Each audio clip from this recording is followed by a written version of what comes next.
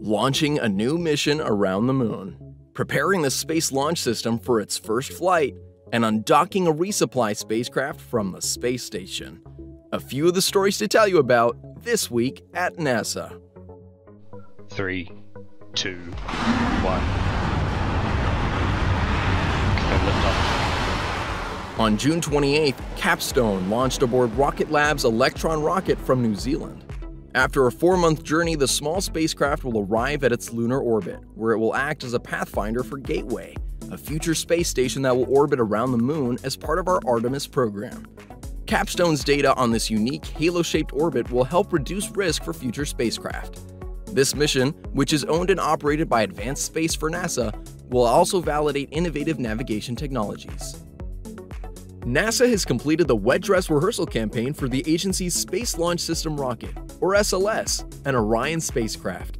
During the final rehearsal on June 20th at our Kennedy Space Center in Florida, teams were able to confirm the timelines and procedures for launch.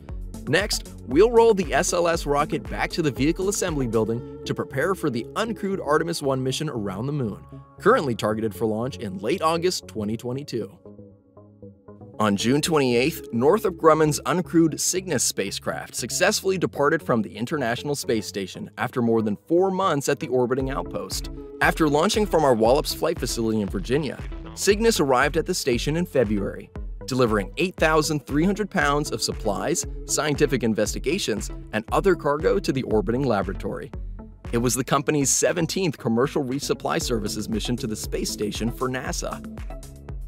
This spring, researchers with NASA's Scalable Traffic Management for Emergency Response Operations, or STEREO project, tested prototype tools with the goal of making wildland firefighting safer.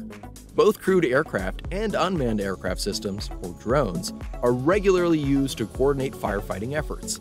STEREO's prototype device focuses on notifying these drone pilots of the positions of crewed aircraft, allowing them to stay safely out of the way.